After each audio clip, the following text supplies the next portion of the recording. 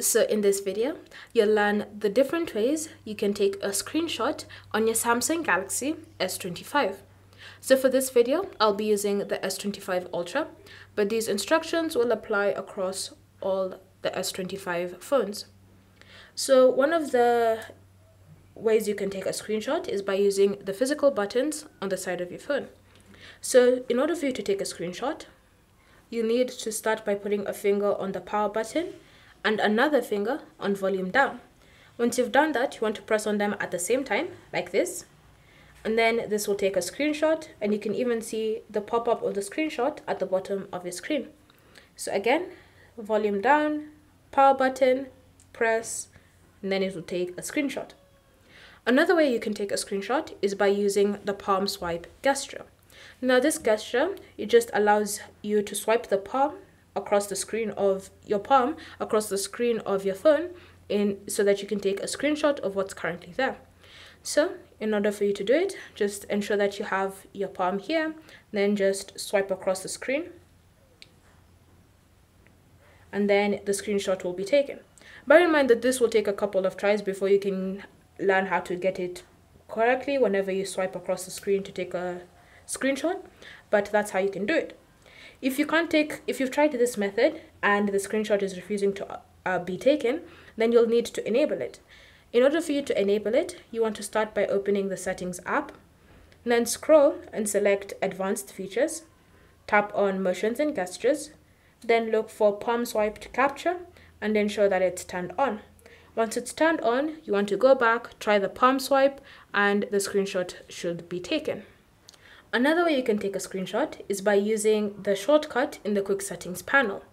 So to access the quick settings panel, just swipe down from the top of your screen and then swipe down again to access quick settings. Once you're in quick settings, look for take screenshot.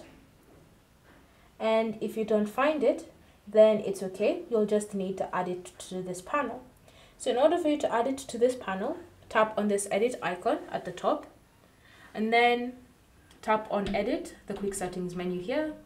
Then you want to look for the take screenshot option at the bottom here of available buttons for you. And then once you find take screenshot just tap on it to add it to this quick settings panel. You can go even further by moving it up the list so that it's not at the bottom. You can take it to the top and put it in the position you want. Then just tap on done and then select done again once you've finished that, now whenever you look at the quick settings menu, you should see the take screenshot option. So now whenever you just tap on that button, a screenshot will be taken of what's currently on your screen. Obviously this would include the quick settings panel, so every time you just take a screenshot, it will just be directly what was on your screen.